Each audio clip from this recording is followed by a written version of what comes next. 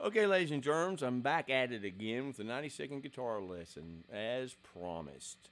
Um, so, we were working out of the Dorian Flat 5 scale, which was kind of built off the minor pentatonic, which is this in A.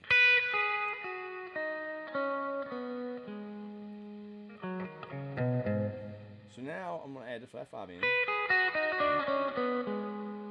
Okay. And we all kind of know this lick. The old Chuck Berry. And we know this lick.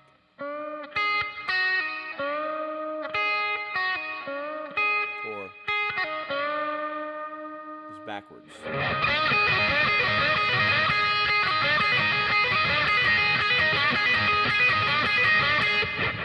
So that's just your standard rock and roll fare.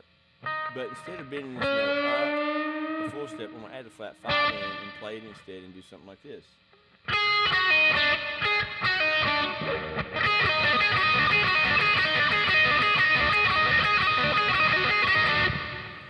And so, or you just not even play that note there and play this one.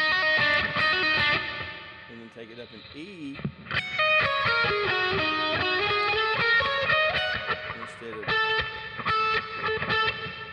flat five here and stretch it out.